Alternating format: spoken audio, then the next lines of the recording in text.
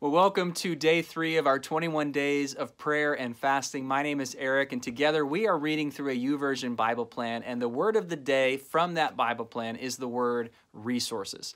Resources in the sense of the things that we need, and more specifically, the resources that we need to fulfill the purposes that God has for our lives.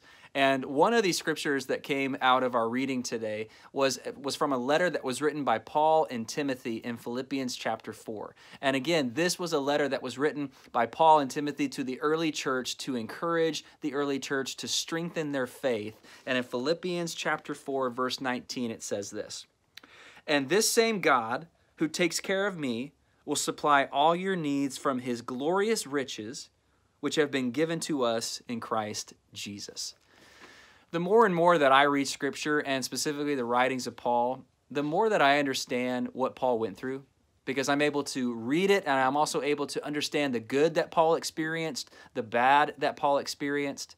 And I see that whatever it was that he went through, God was always present and God always provided. Even when it looked like things weren't going to go the way that they needed to go, Paul always had what he needed to continue his journey. So when Paul says in the letter here that we just read that what he has done for him, that he will do for us, that's a big deal. It's a reminder to us that God will provide the resources that we need. Why? Because God has made everything available to us through Christ Jesus. So, my question for you to think about today is what do you need? What are the resources that you need for today? And maybe you don't know where to begin because you're just overwhelmed with the list of things that you need. That's okay. Ask God to show you what it is that you need for, for just this moment, for, for just today. Ask God to show you what it is that you need.